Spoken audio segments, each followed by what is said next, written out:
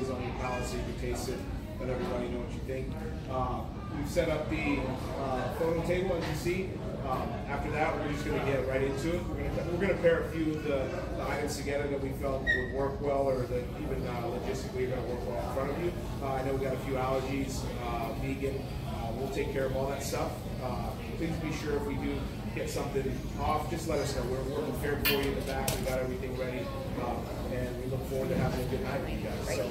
Uh, Hey, this is John Frost with the Disney Blog. I'm at the American Kitchen Bar and Grill here at the B Hotel and going to uh, sample their Magical Dining Month menu here. And they have a, a social media table out. So let's take a look.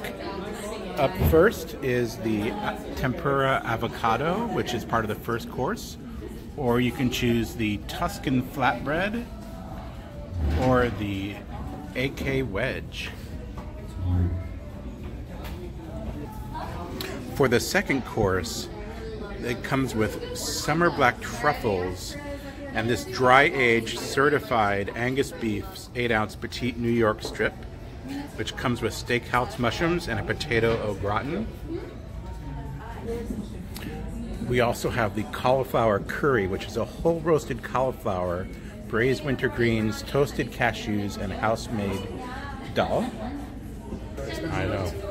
The beetroot ravioli, which is house-made beet and ricotta ravioli with local goat cheese, toasted pine nuts, beet, and soft citrus.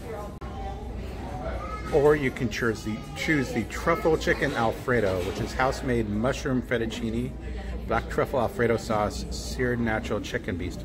And then they have this extra magical option, which is some of their house specialty American barbacoa style certified Angus beef shank tacos. Look at that setup there. That looks absolutely fantastic.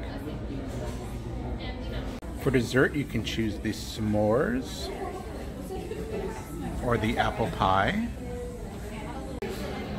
Matt, uh, here at American Kitchen Bar and Grill in the B Hotel the Disney Springs Resorts, trying one of their old-fashioned drinks for Orlando Magical Dining. So it's uh, bigger than ever. Matter of fact, there's so many restaurants this year that you can't even fit them all in. So you you'll have to do two dinners, and you still wouldn't get there.